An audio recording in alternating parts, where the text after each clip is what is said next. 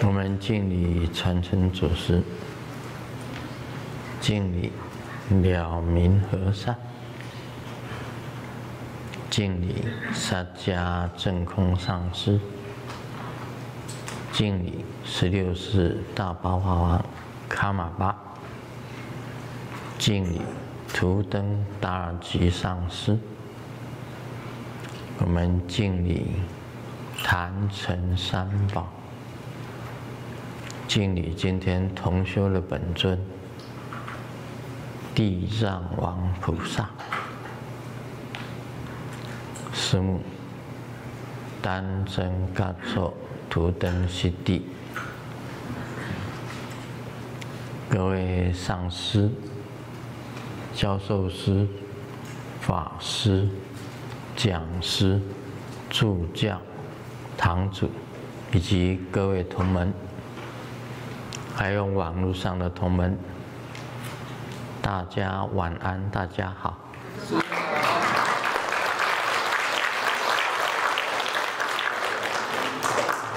你好，大家好。心照，干们。I stayed。下人嘞。好拉米哥，也给了木球，是国音，你记吧，听我注意，救命，阿比，布林布林，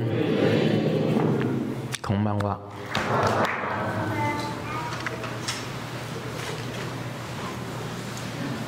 那本来我今天。啊，是要上法座之前呢，有跟同门讲说，我今天上法座要睡觉，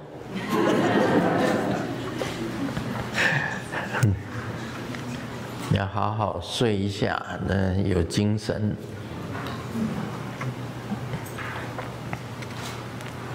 整个地藏王菩萨跟我是最接近，啊，就在这个就后面而已。每一次一样，刚刚睡着，他就在耳朵旁边给我这样，就醒过来。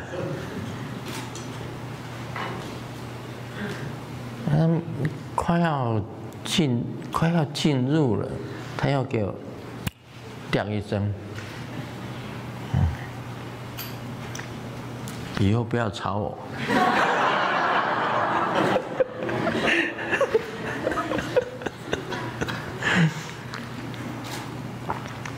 有一次，我也是快要睡着了，这样，然后他从后面伸手过来。给我绑上安全带，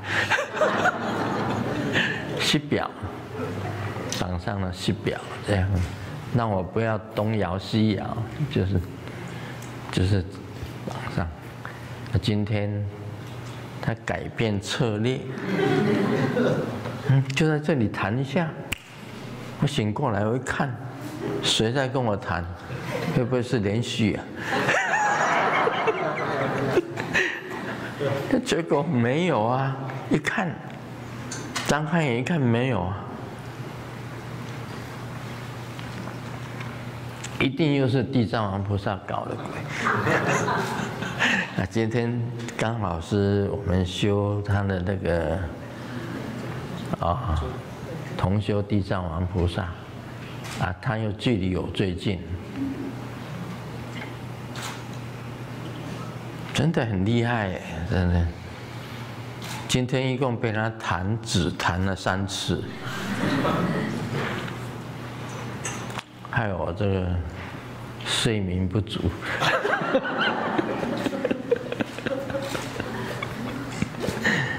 他很灵感啊，这一尊地藏王菩萨很灵感。这一尊跟瑶池金母是同一个。那个玻璃纤维做的，是莲明法师的这个祖父啊，莲明法师。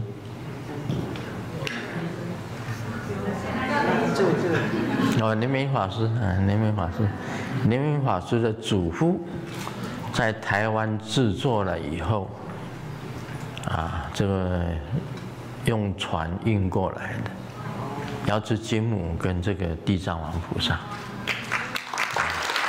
好，请坐。是你阿阿公，是你阿公做的，嗯，好，谢谢你。啊，谢谢孙子也是一样啊。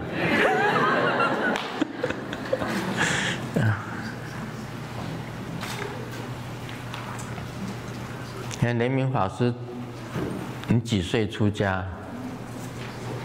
十十九岁。你十九？十九岁。十九岁就出家？他现在几岁？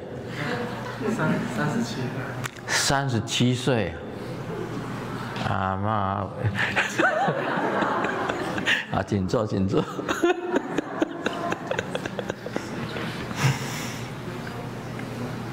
啊，我跟你祖父，跟你那个祖母啊，非常的熟，对，很熟。因为当初的时候，我在台湾呐，先渡了一批人。其中就有这个莲明法师的祖父，跟他的祖母，祖父跟祖母。啊，他那个前面两个龙柱啊，有没有那个龙？那个雷藏寺那龙柱，也是莲明法师的这个祖父。同一批船一起运来的，同一批的那个船运来，那时候龙柱有好多，好几个，但是我们只用了两两个。那这个瑶池金母跟地藏王菩萨，都是同一个时间运过来的，那个时候做的，做的很好，这个。地藏王菩萨跟瑶池金母的精神相貌都很好。我们这个地藏王菩萨是从安徽九华山啊，这个安上去的是，安徽九华山的地藏王菩萨魂灵过来的。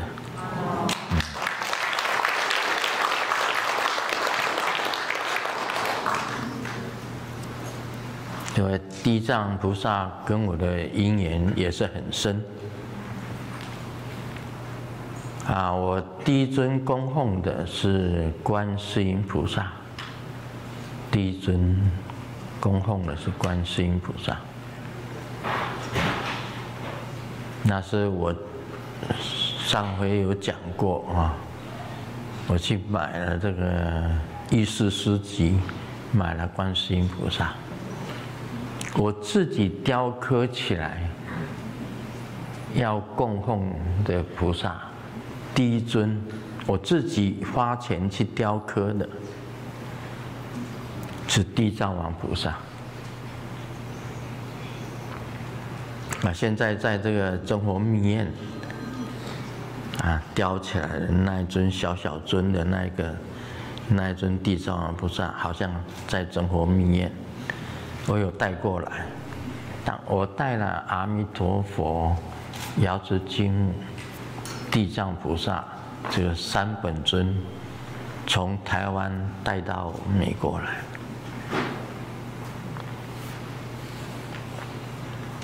那我自己花钱去雕的是地藏王菩萨，地藏王菩萨，所以我这个地藏王菩萨。那瑶池金母是台南盐水、台南江水一个医生先生牛，是医生的那个太太，她雕的，就是现在中国密院供奉那尊药师经。那阿弥陀佛呢，是一个年轻人，一个年轻人的信众雕来的。那我自己雕的，就是地藏王菩萨。所以地藏王菩萨跟我非常有缘。现在我每天修千烧法传的超度，所以地藏王也是用的，也是地藏王菩萨，啊，也是地藏王菩萨。药师金母、阿弥陀佛、地藏王菩萨，都是三本尊，是。这地藏菩萨跟我非常有缘。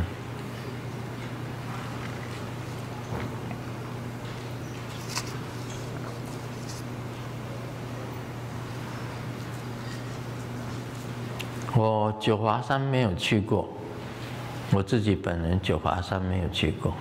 师母有去过，啊，师母有去过安徽九华山，他有去过。他说爬了很长的梯子，是不是？哦，九华山有很长的、很长的梯，很长很长的梯子。嗯，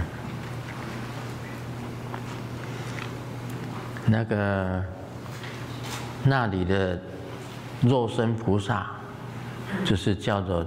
金巧姐，啊，金巧姐，然后金巧姐呢，就是朝鲜那时候叫做朝鲜，是韩国人，所以姓金啊，韩国人姓金非常多嘛，像这个。金正恩啊，可能就是金正恩跟金大中他们的祖祖先辈，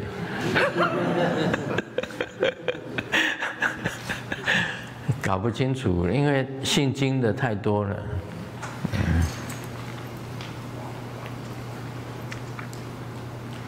就是我跟地藏王菩萨的姻缘，那个我记得那个。鸠上，就林千代师姑啊，就是在玉皇宫跟我讲叫我的名字的那一位师姑，有到西雅图雷藏寺来，他有看到这尊地藏王菩萨，他说：“哎，这一尊地藏王菩萨是韩国人呢，是格利亚，跟他讲格利亚话，跟他讲。”看不上米达，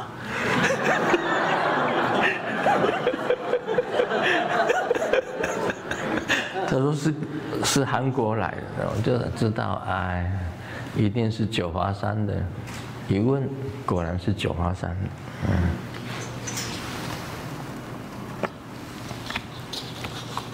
那时候那个按照中国来讲起来。这个朝鲜本来就是中国，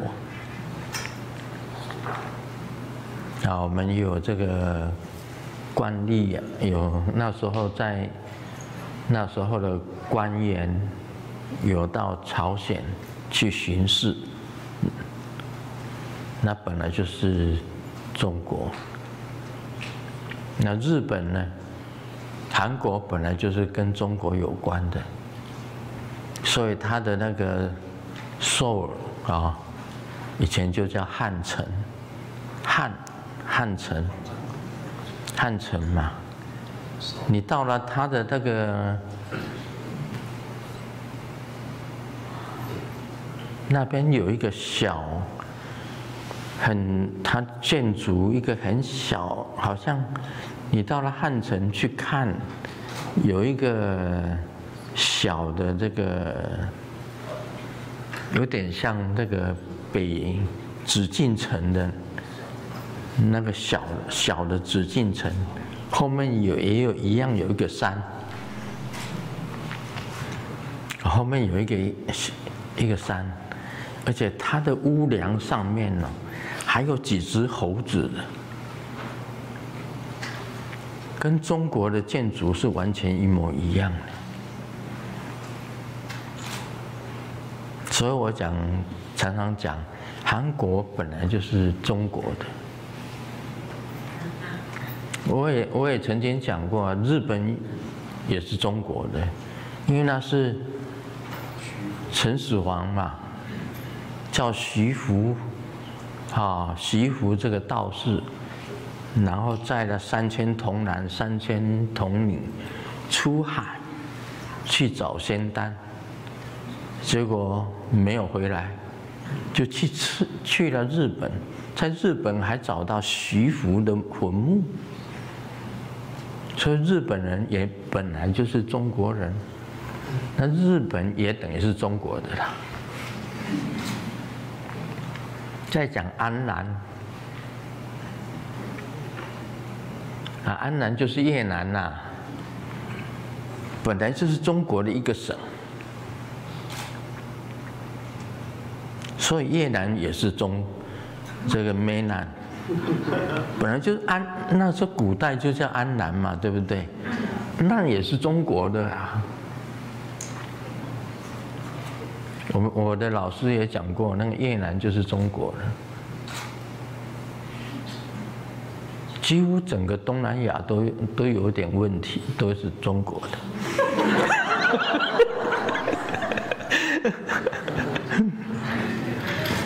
你看马可斯，菲律宾马可斯，他有中国的血统啊，大家都知道了。我以前在好像。不知道是谁告诉我，马可是这个大马可是是有中国的血，但小马可是当然是有中国的血统了，那也是中国的，对不对？你再说美国，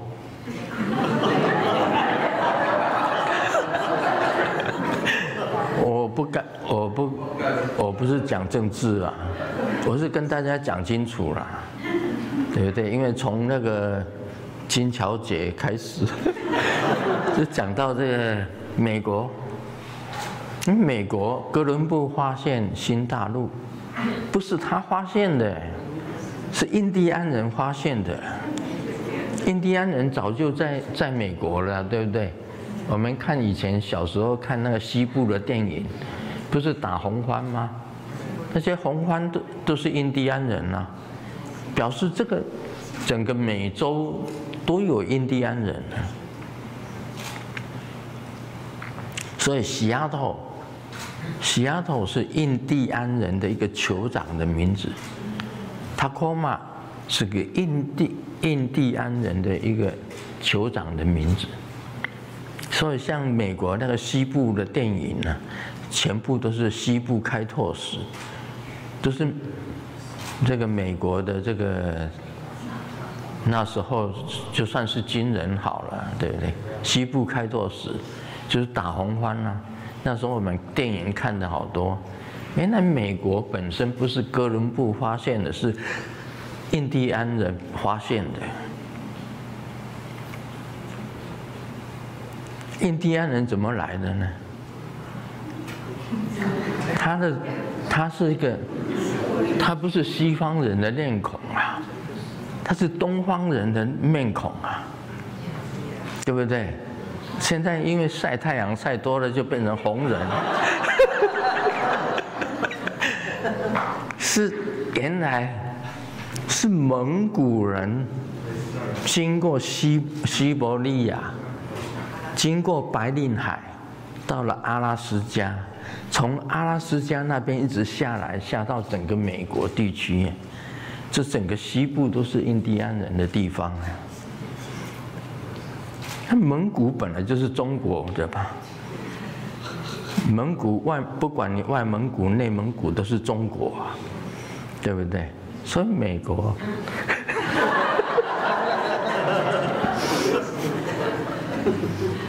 是美国人都是移民呐。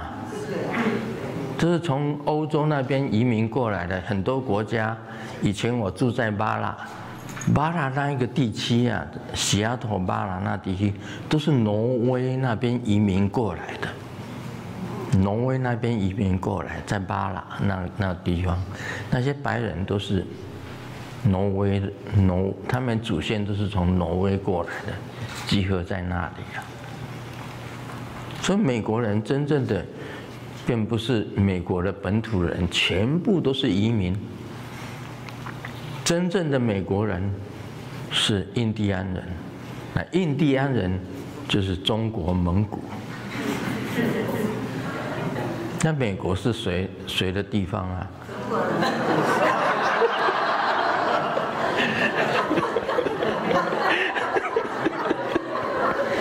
好了好了，不讲。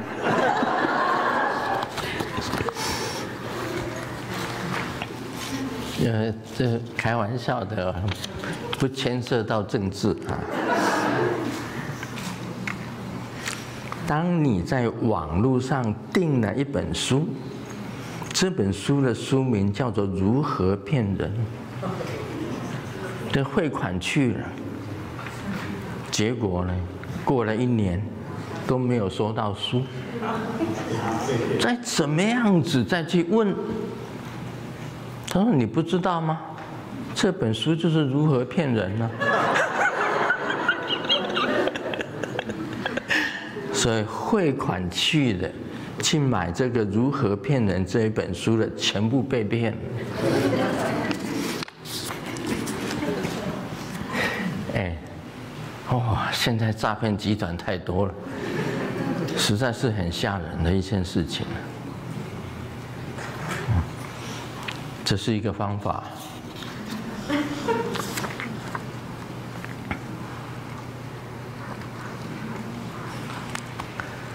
啊，我今天搭公车的时候啊，看到身旁的一个年轻妈妈，她抱着小孩，她手背上有一只蚊子，正在吸她的血。无助的看着我说：“能帮我拍一下蚊子吗？”我说：“没问题。”然后我就从我口袋里面拿出我的手机，拍一下蚊子。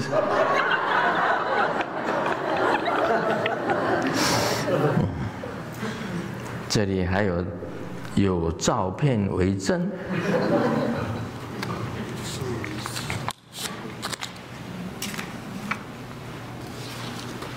好，我们进入主题哈。这个第一个，香港莲花贝亲问的，顶礼根本传承上师，莲生佛佛。祝愿师佛佛体安康。师尊，如果弟子参加师尊的法会，刚好遇到你生不方便的那几天，应该要怎么做呢？感恩师尊开始。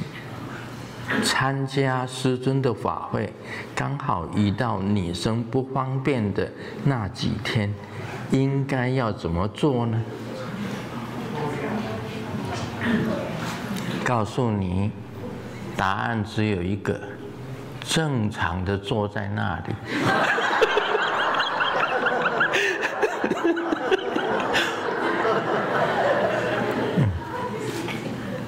没有禁忌。啊参加师尊的法会，他刚好遇到这个女生不方便的那几天，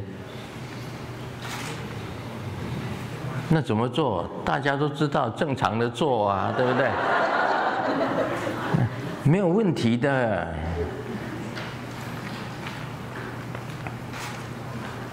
这个《维摩诘经》里面有谈到男生女生的问题。我告诉你，男女有别，活性没有分别。不管是男生，不要以为男生就有尊贵的感觉。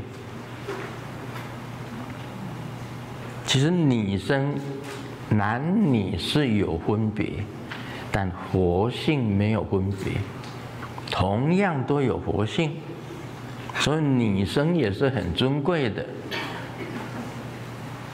啊，男女现在都是平等的，但女生不方便，一样，因为她本来就是这样子。啊，参加师尊的法会，你就一样坐在那里，这就对了，没有什么，没有什么分别，好。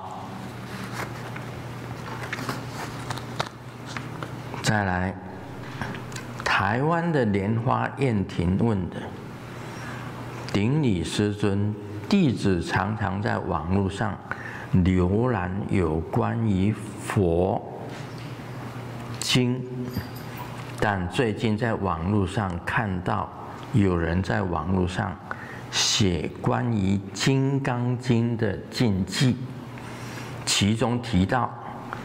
不能读《金刚经》的品名，还说昭明太子分三十二品者，《金刚经》本来没有分三十二品，是梁武帝的儿子萧统，他叫昭明太子。分三十二品，因为分品而堕落。请问师尊，《金刚经》的品名真的不能念吗？感恩师尊。这个以前有人这样子讲，好。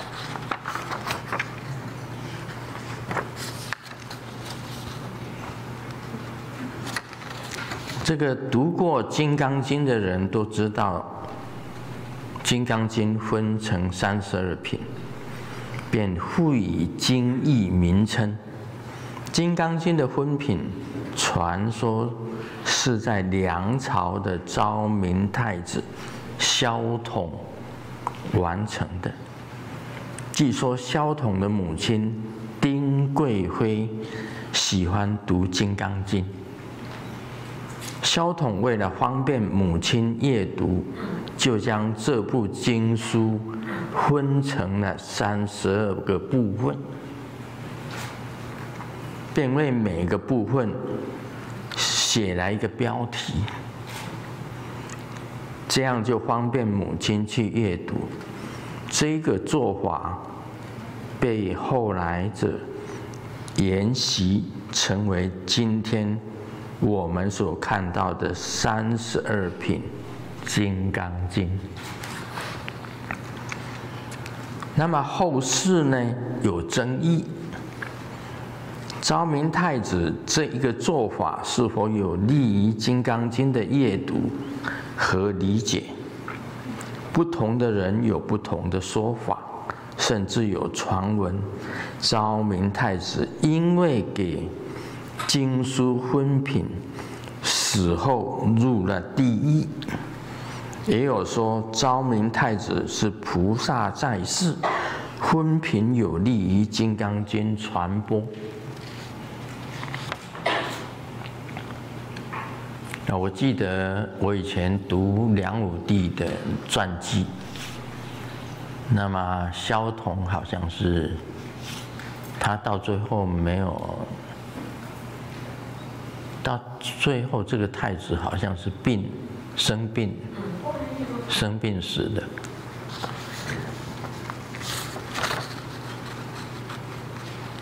这是谈到这个《金刚经》的标题的问题。三十二品，其实以前没有三十二品，后来是萧统把它分的，大概是一千。五百多年前的事情，一千五百多年前的事。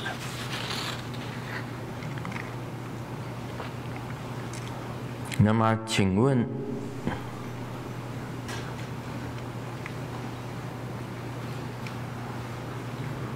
这个《金刚经》的那位弟子问到《金刚经》的标题的名不可以念，是不是？可以念还是不可以念呢？请指示。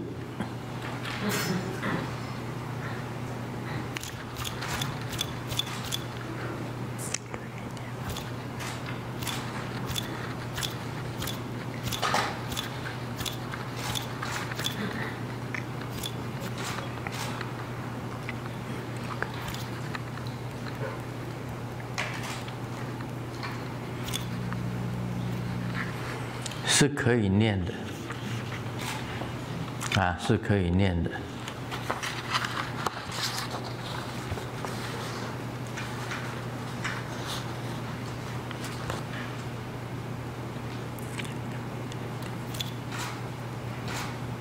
那个萧统并没有下地狱，对不对？你说下地狱，谁看到了？除了从地狱里面出来的人。看到萧统在地狱，萧统根本没有下地下地狱，很多事情都是传说了，所以把它分成三十二品的《金刚经》。这个争议啊，有有人认为佛经中不能妄加分别念，因为昭明太子。给经文分品，至今仍在地狱里受苦。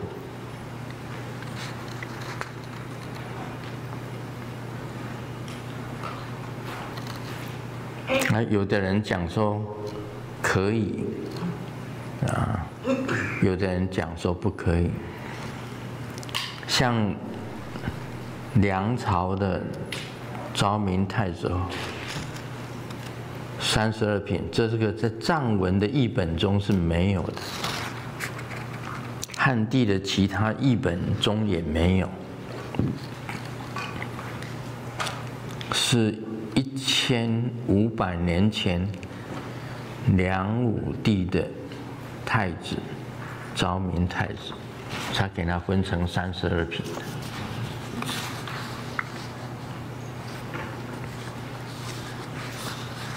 但是佛菩萨，我问了，他说可以，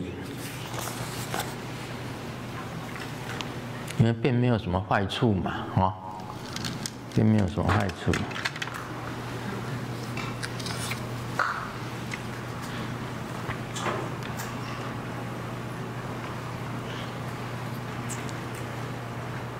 老婆问老公：“亲爱的。”现在有两个女人，你可以带其中一个去玩，一个是年轻的，一个是年纪大的，你想带哪一个呢？老公说：“说了你不能生气哦。”老婆绝对不会生气。老公当然要带那个年轻的啊。老婆讲说：“OK，明天我和跟我的。”那闺蜜要去逛街，那你就带女儿去公园玩。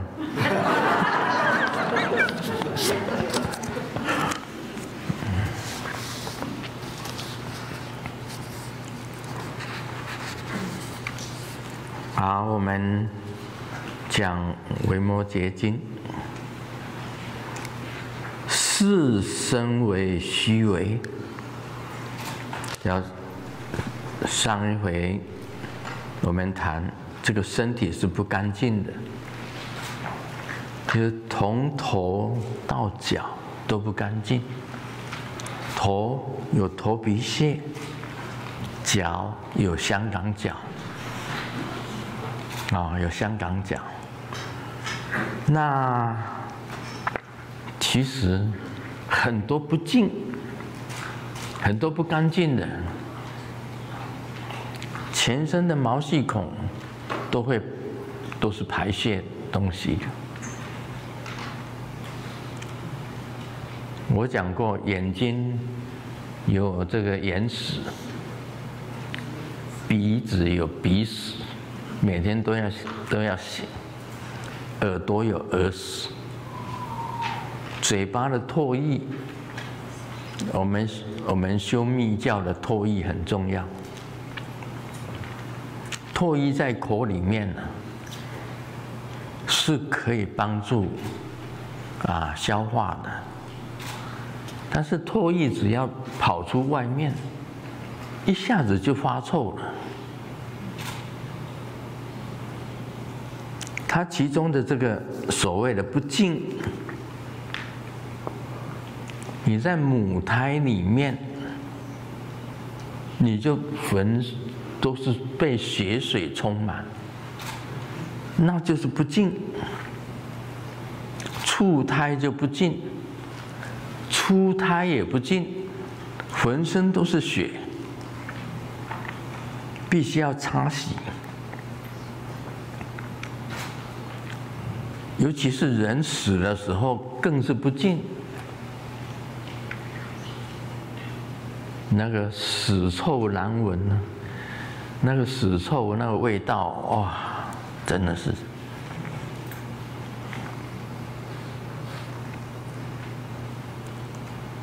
这好多种不净，那不干净的，不干净的。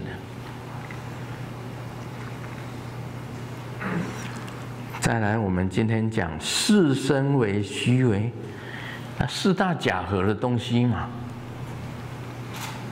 地水火风这四大组成的这个东西，当然是虚伪的了。一分开，只要有一样一分开，就没有了，这个东西就消失掉了，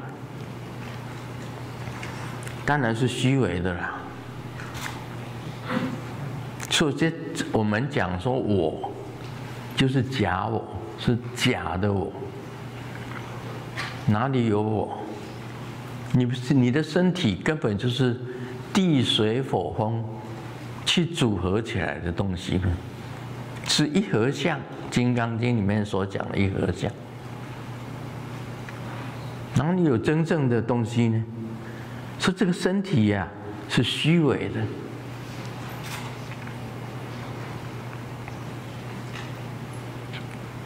你看，有时候啊，他看起来身体很好，啊，其实今天很好，明天它就变了。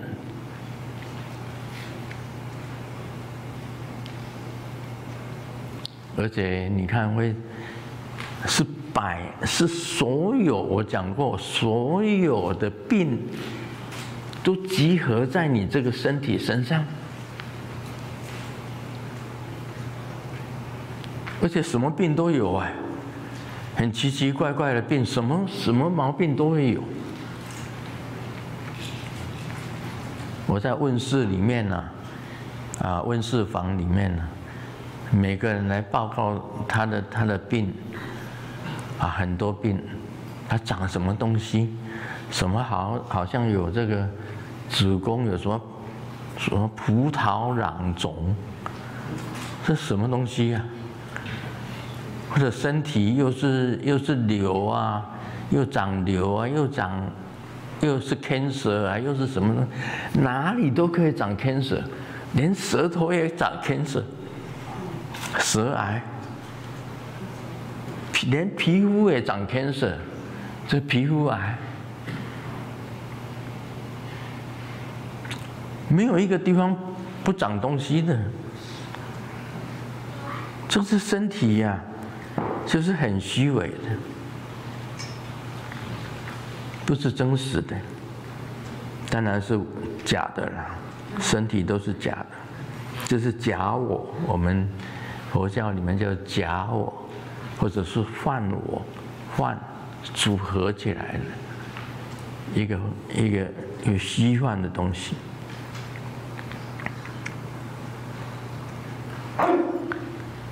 虽假以早欲衣食，必归磨灭，最后一定要分散。也就是你这个身体最后一定要死。你就算把洗用洗澡啊，洗洗干净，穿干净的衣服，吃营养的东西。现在有所谓的这个养生，啊，养生养生的食物，养生的食物吃了，啊，最近也在很很多人在谈这个，像那个健康二点零啊。都教你如何健康的方法，健康二点零，还有那个另外电视常常播出来健康，你要怎么样子养生啊？啊，还有营养的师傅、营养师啊，啊，教你怎么样子吃啊，怎么样子？不管你再怎么养生，必归磨灭。一定会死。你看过那个永远有永远不死的人吗？没有啊。所以这个必归磨灭，一定会死。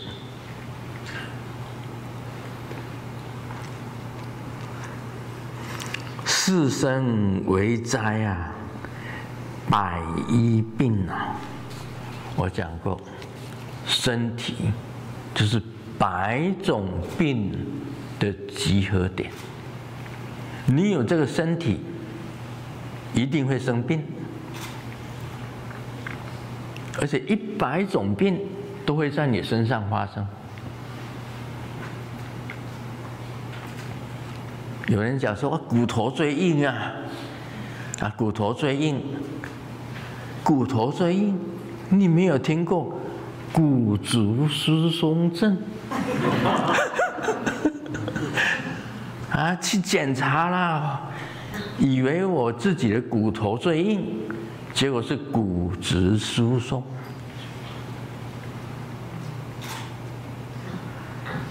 我肌肉很强，你没有听过肌少症？剩下皮包骨哎，肌少症。剩下皮包骨哎，那个是肌肉完全都没有办法长成肌肉。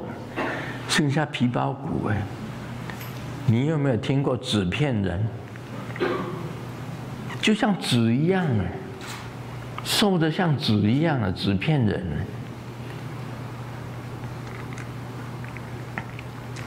百医病啊，世生为灾。什么是灾啊？地水火风的灾，你产生了地灾，那惨了，你的白卡、小儿麻痹，那是地灾啊。什么是火灾啊？你听过那个肠燥症吗？肠子很干燥的症啊，肠燥症叫肠燥症，肠子非常的干燥，那会变成怎么样的？你就大家想想看，真的很痛苦啊。我记得有一个台中市的市长，不好意思讲他的名字，他来求我，他就是肠燥症，这个就是属于火。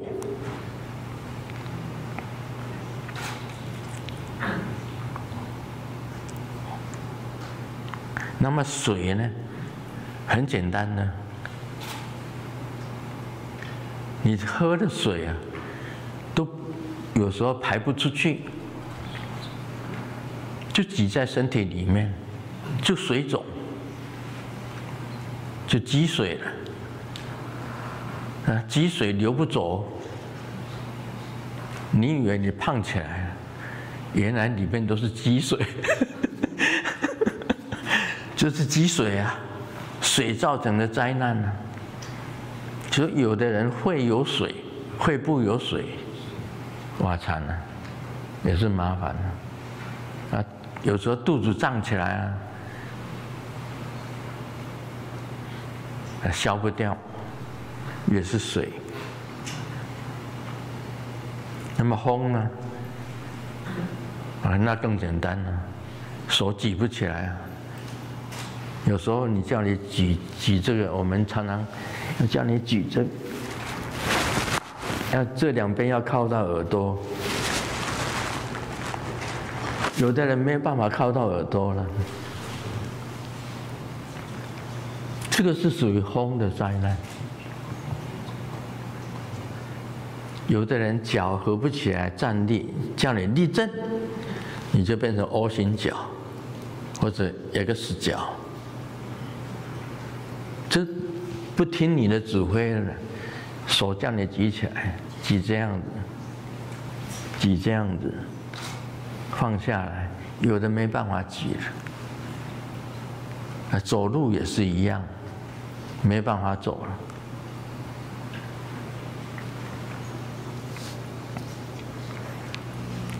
所以，地水火风都是灾，身体也有这样四种的灾难，都在都在里面。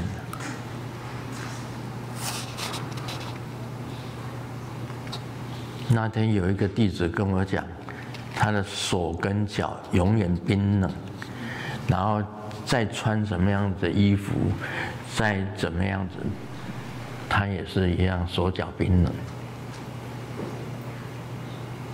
那就是属于那个，也是属于水的灾难吧，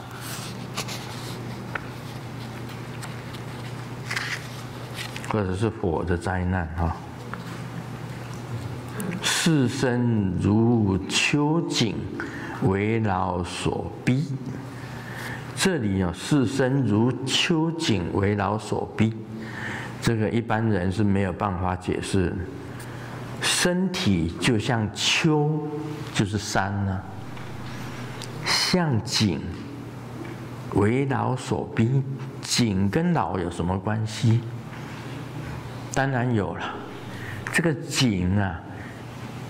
一口井水用完了，变枯了，变成枯井了，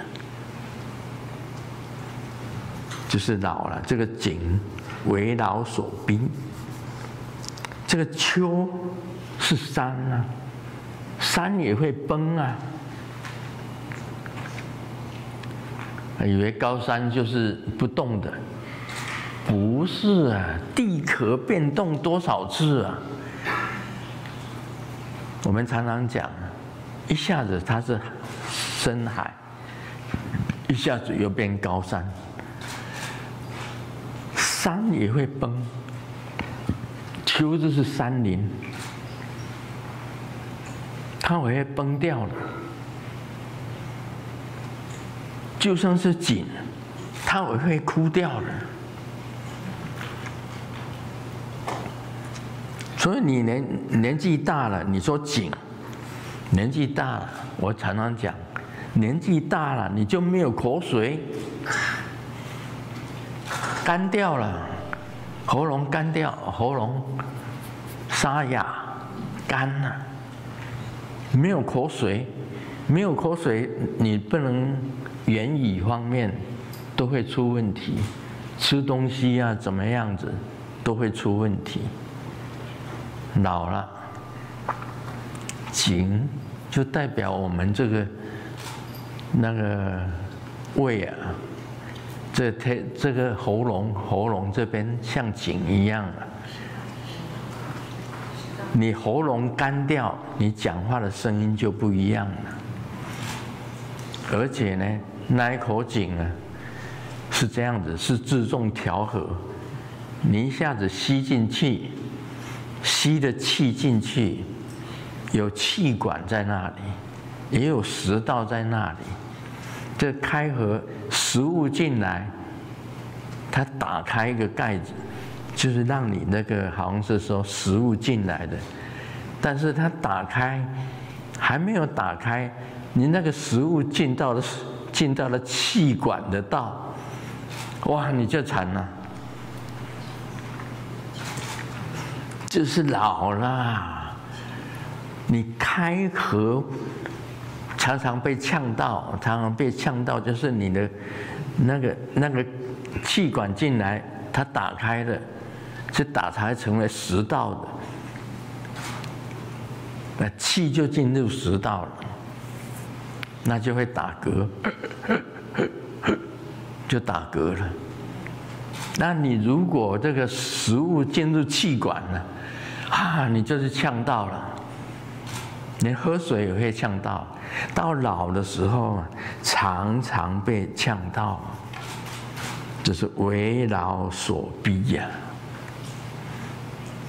所以用井来比喻最好，用这个井。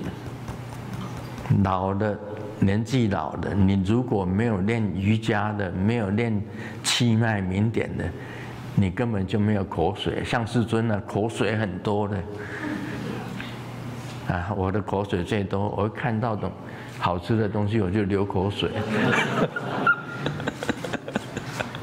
就一直咽呢，一直咽呢，不是看到漂亮的小姐流口水，我是看到好吃的食物就流口水。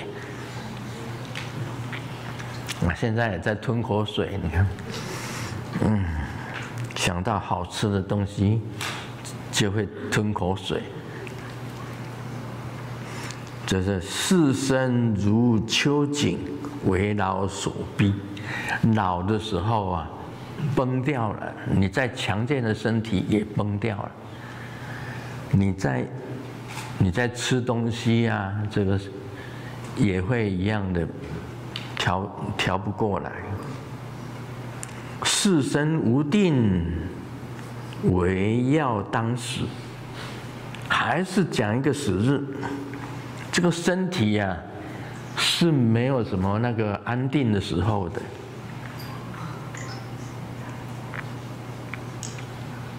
像我们这个 I 奈 I 奈迪啊，那些开车的那是发生大车祸，有发有几次这个 I 奈迪发生大车祸，I Y 也有发生车祸。这就是身无定，你的这个身体是没有定。不定时的很多灾难会下来的。有人在家里啊，那个飞机掉下来就掉到他家，他就死，他就死了。有人在路上走，我记得有一个有一个人的家庭，他全家人都皈依，只有其中一个其中一个那个。教英文的老师是嫁给他的大嫂，他们叫他大嫂。大嫂只有那一个人没有皈依。他在联合报的大厦底下教完英文以后走出来，在联合报，呃，台湾联合报的那个大厦上面，他在跟一个家长谈讲话，在讲话的时候啊。那个瓷砖掉了一片下来，刚好从头打下去。那是一个年轻的老英文女老师，就这样就死了。他全家人都有皈依，唯一没有皈依就是那个英文老师，那个女老师，他就被那一块瓷砖打死。我不是说叫你。叫你要皈依，因为他同门跟我讲，他大嫂就是这样子死的啊。站在联合报那个大厦的前面，台湾呐，然后跟他的学生的家长在谈话，一块砖掉下来打到他头上，突然间就没有了，就死了吗？死了吗？巴吉，死了吗？马烂，啊！四身无定啊，唯要当死啊！真的，我们开车出去，那今天很高兴开车出去，那就没有回来啊。对。啊，今天走路出去没有回来啊？今天去爬山没有回来啊，所以生是不定的，到底什么时候要死你也不知道，没有人知道说什么时候要死。说世生无定，唯要当死。你以为你身体很健康吗突然之间去检查身体，说肠癌第四期，啊，医生跟你讲剩下三个月。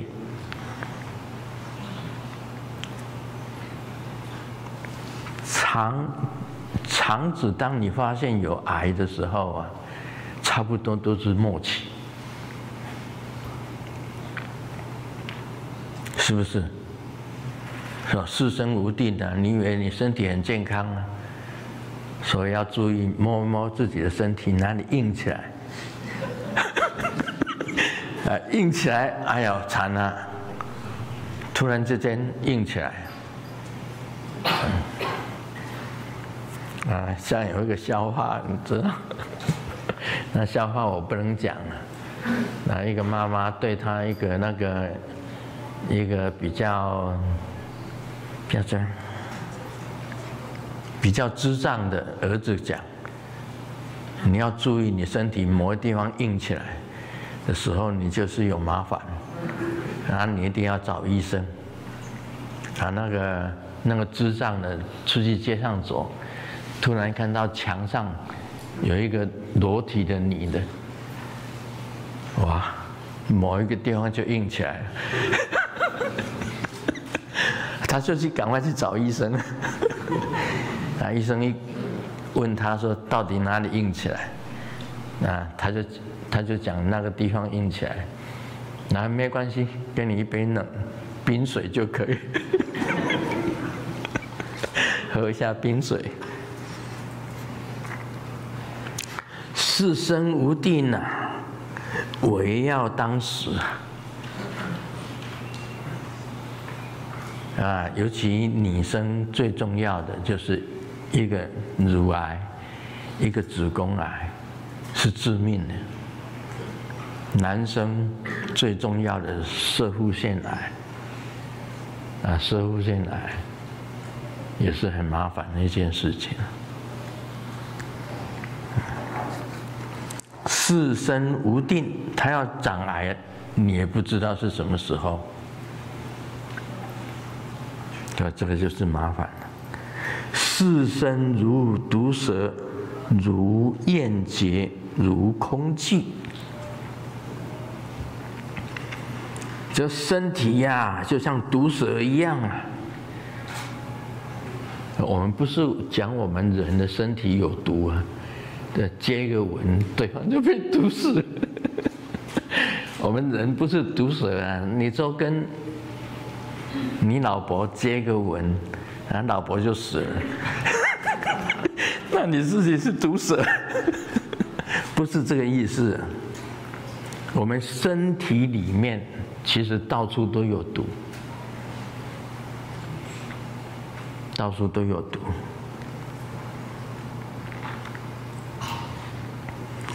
就像身体好像被毒蛇咬到一样。突然之间就有一个毒蛇咬到你，啊，你就一定要死了。是应该是这样子讲的，不是说我们的身体像毒蛇，是你的身体突然之间碰到有毒的东西，你就一定要死了。如燕结，如空气，你经常身体也会被脱掉东西。就像有结一样啊，有这个结来拖你身体的东西。我是这样子解释的，别人解释我是不管。啊，身体如燕结，我们又不常常去拖人家东西，为什么如燕结？对不对？一定是你这身体被人家拖了嘛，拖到东西嘛，你身体某一部分不对了，被拖走了。那你那一部分就坏掉了，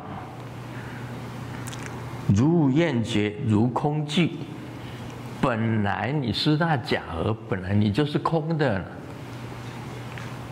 身体本来就是空的，这个是假我，就是幻，也是空的。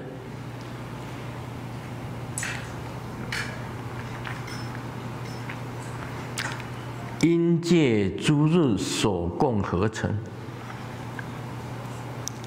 这个五因界，我们讲的，就是说，我们讲的是五蕴，五蕴，因界是讲五蕴，啊，就是色、受、想、行、识，色、受、想。形式，另外还有六根、六识、六尘。所组合的五蕴，色、受、想、行、识，这五阴五，我们讲五阴魔，五阴魔就是色、受、想、行、识，另外还有六根。六尘六识所组合变来变去的，所共合成。我们身体是一合相，是合成的东西，组合起来的。这是维摩诘对来给他看病的人，他所讲的话。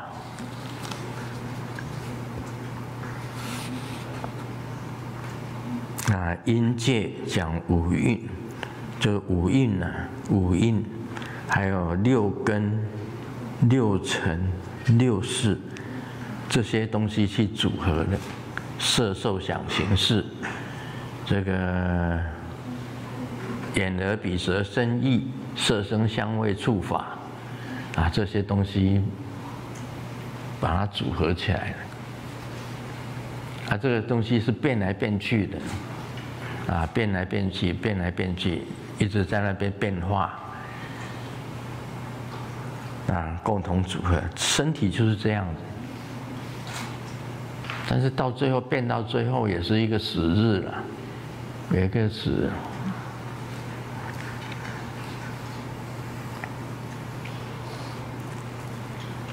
呃，来，只要是这个。有人来看病，他就跟他讲这个道理。这个诸人者就是来来看他的病，他就跟他讲，这个身体是不好的。所以我我自己觉得身体确实是不是一个好东西。我年轻的时候啊，营养不良。年轻的时候啊。那时候一九四五年，我是一九四五年出生嘛，啊，for ninety ninety forty five，是二第二次世界大战的最后一年。那时候在逃难，逃难的时候我是在鸡舍里面养鸡园出生的了。逃难到那个牛稠溪畔的养鸡园。出生的，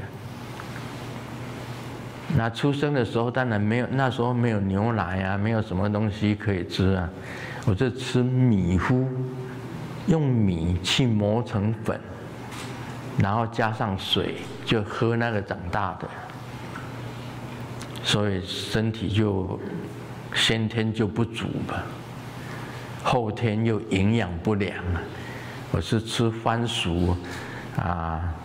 去学校去小学读书的时候啊，就两条番薯啊，中午带便当就是两条番薯。那家里有时候就煮吃喝吃稀饭，只是吃稀饭，两条番薯，不然就带两个菜长啊，没有肉的，就是素的种种子。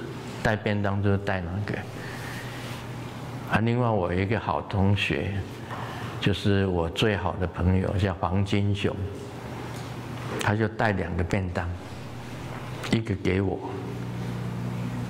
还好有有这两个便当，还好还好一点。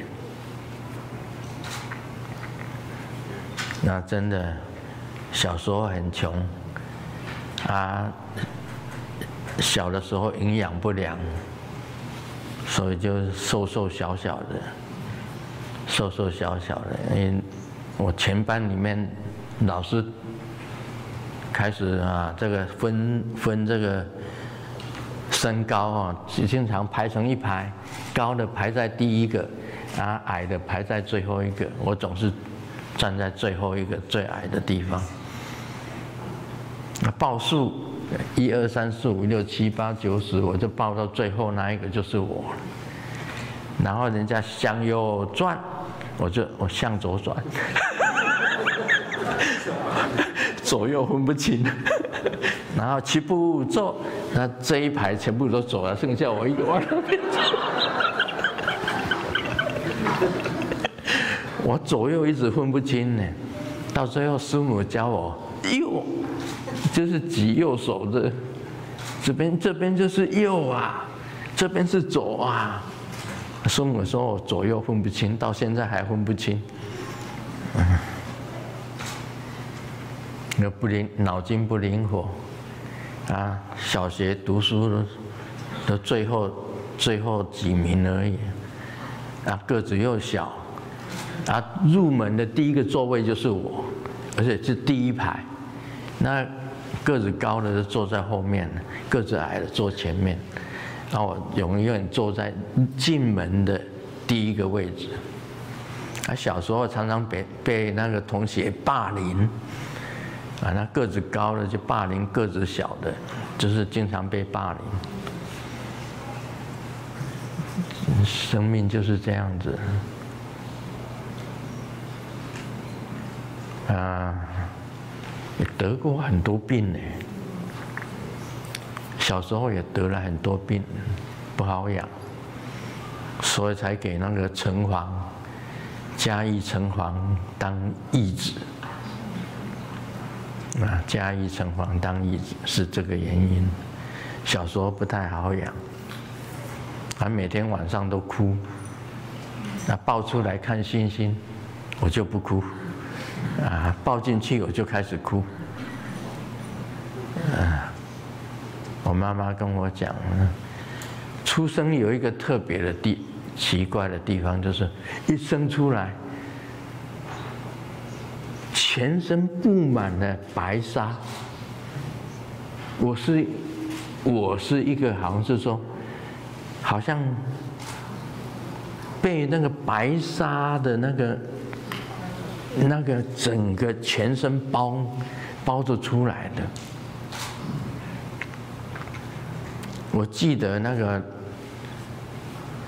封神榜》里面写到，这个罗刹三太子出生的时候是一个肉球，啊，出来是一个肉球，打开才是罗刹三太子。还有一个虚云老和尚。他出生的时候也是一个一团肉球，啊，经过医生给他破开来啊，里面才有一个婴儿，就是虚云老和尚。虚云出生的时候也是，虚云也是姓萧，啊，他的父亲曾经在福建泉州当知府。泉州府的县长，等于是现在的县长。福建泉州当县长的，姓萧，那是虚云老和尚，也是弱球。我不是弱球，我是沙球，就是全身布满了白色的沙。出来以后，那个出生以后啊。那个那是三伯啊，啊，那那个妇产科妇等于是妇产科的医生，要用这个煤油，那时候的那个油啊，用煤油把那个沙白沙给它弄掉，全身用油擦擦擦擦，擦到最后才是一个 baby 这样子。这都是比较奇怪的事。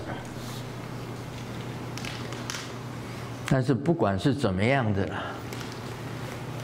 都是五蕴、五蕴六根、六尘、六识所组合的假的东西，所以我们身体就是假我，啊，假我、幻我，啊，其实是空的，是空的，是假的。如果没有这个，好像是说这个活性在里面，啊，这个灵性啊，活性在里面，这身体是没有用的。这是那个维维摩诘居士所讲的。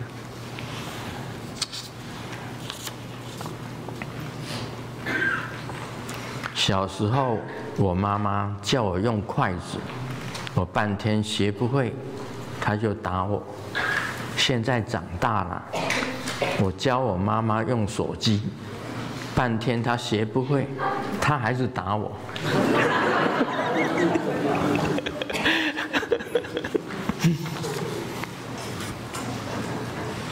啊，大家笑一笑吧。这个要死以前呐，放那个屁，这个屁叫什么名字呢？答案是绝响。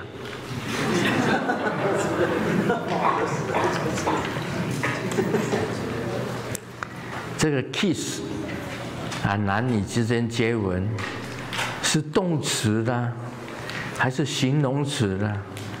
是形容词还是名词？还是动词？答案是连接词。你能够做，我也能够做，大家都能够做。但是一个人能做，两个人就不能做，这是做什么？答案是做梦。离婚主要的原因是什么？答案是结婚。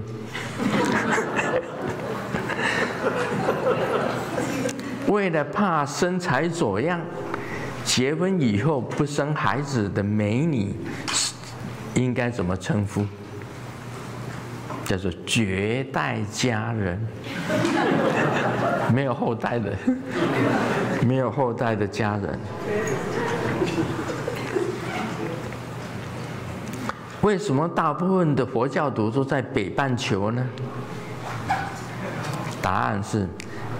南无阿弥陀佛，那个无啊，南方没有阿弥陀佛。你托什么东西不犯法？就托笑不犯法。 เอามาเลยเป็นมิโอม